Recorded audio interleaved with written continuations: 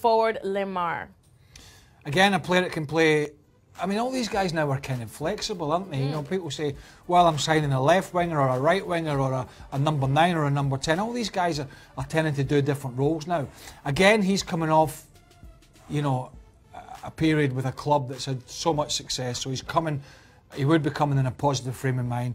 Again, it's leading to the fact he can play wide and, and you know, if something happens to Mane or Salah, if indeed he wasn't playing in front of them, and Coutinho does go, then there's options there. So these kind of things that might happen for Liverpool are pushing me down the line that, that they might take this money from Barcelona and go and try and strengthen with a couple of players. So that would make sense to me. But again, Liverpool going for energy, if that's the case, dynamism, of course talent, but one of the keys is young.